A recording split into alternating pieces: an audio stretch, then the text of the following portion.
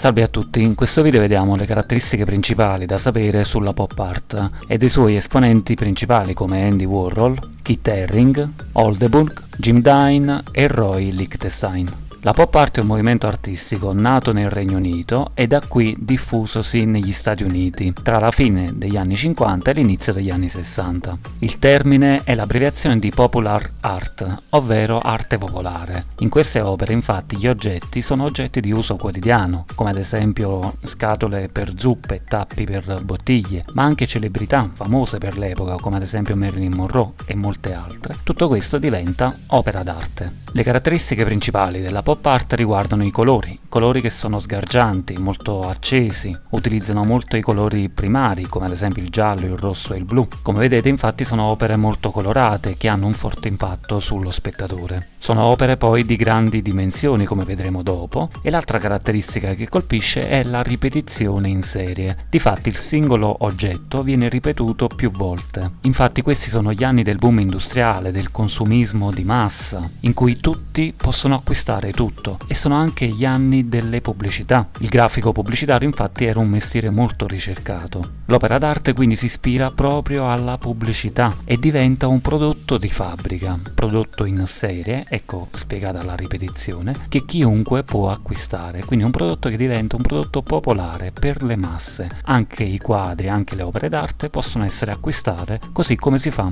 con una semplice zuppa al supermercato. Il maggiore esponente di questa corrente d'arte è sicuramente Andy Warhol, che nasce a Pittsburgh negli Stati Uniti nel 1928 e è morto nel 1987. Forse avete sentito questa frase che è stata detta proprio da Andy Warhol, ovvero che nel futuro ognuno sarà famoso per almeno 15 minuti. Warhol utilizzava la tecnica della serigrafia, ovvero di stampe ripetute in cui i colori venivano semplicemente cambiati, modificati oppure alterati. Famosissime sono le opere che ritraggono il volto di Marilyn Monroe, un'attrice molto famosa all'epoca, e come lei molte altre celebrità come Che Guevara, Mao Zedong, Michael Jackson. Ma celebri erano anche alcuni prodotti di uso quotidiano come ad esempio le zuppe della Campbell o la Pepsi Cola, per cui ancora una volta vedete che gli oggetti di uso quotidiano diventano opere d'arte. Di Warhol poi ricordiamo la famosa Factory, ovvero un laboratorio industriale che radunava giovani artisti e qui producevano nuove idee, serigrafie, prodotti,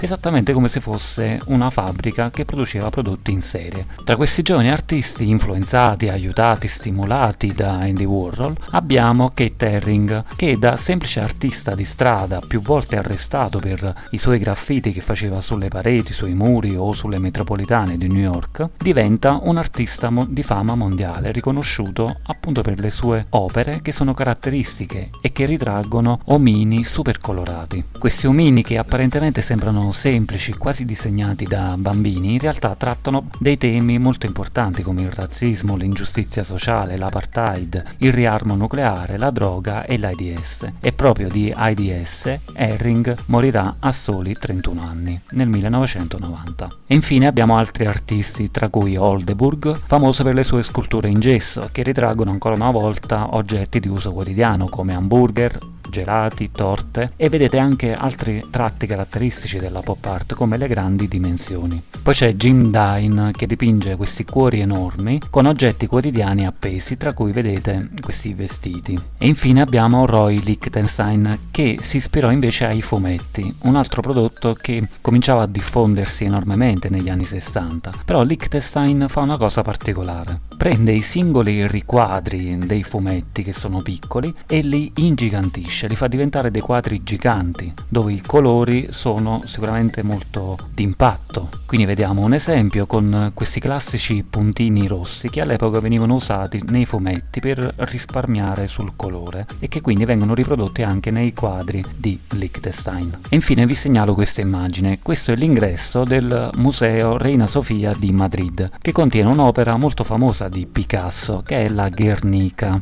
Perché ve ne sto parlando? Perché all'ingresso troverete questa scultura realizzata proprio da Roy Lichtenstein.